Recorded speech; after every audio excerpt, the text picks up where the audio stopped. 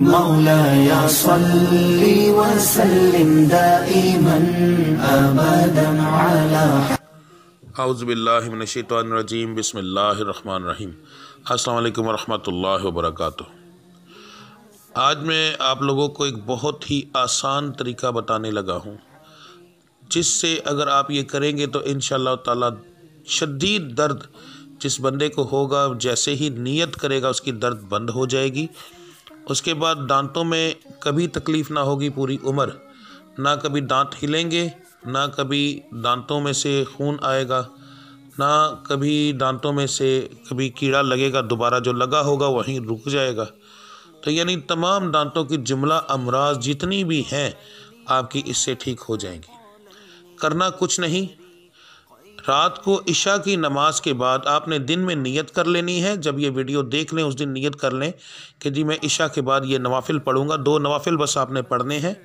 نیت کر لینی ہے، میں رات کو یہ دو نوافل پڑھوں گا۔ انشاءاللہ اسی وقت دانت کی درد ٹھیک ہو جائے گی۔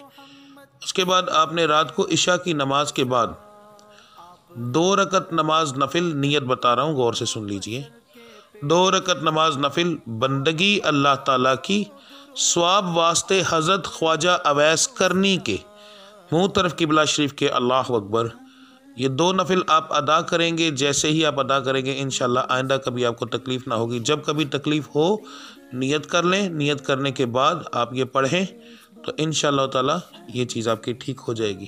اس کے لیے کسی اجازت کی ضرورت نہیں ہے، بغیر کسی، کیونکہ یہ عاشق رسول تھے، تقریباً ہر ان کو جان، ہر ایک بندہ جانتا ہے۔ اسوابی رسول تھے، عاشق رسول تھے، بغیر دیکھے یہ اسوابی کا رتبہ رتبے پر ہیں۔ تو بہت اعلیٰ مقام ہے ان کا۔ تو ان کے نام کے آپ یہ دو نوافل پڑھ لیں تو کبھی دانتوں کی تکلیف نہیں ہوتی۔ تو یہ پڑھیں، انشاءاللہ آپ کو ہمیشہ کے لیے یہ تکلیفیں بند ہو جائیں گی۔ اور اللہ تعالیٰ کی قدرت کو دیکھیں کہ رب العزت کی قدرت کتنی طاقت رکھتی ہے۔ کیونکہ میرا رب بہت بڑا ہے اور اس رب کے سامنے اسی کی دی ہوئی بیماریاں ہیں، اسی کے نام سے، اسی کے ماننے والوں کے ناموں سے یہ بیماریاں ختم ہو جاتی ہیں۔ تو دیکھیں انشاءاللہ میرا مالک کیسا کرم کرتا ہے۔ مگر سترہ ارکات مکمل پڑھیے گا، سترہ ارکاتیں پڑھنے، کم پڑھنے والے بندے کو اس کا فرق نہیں پڑتا۔ یاد رکھیں۔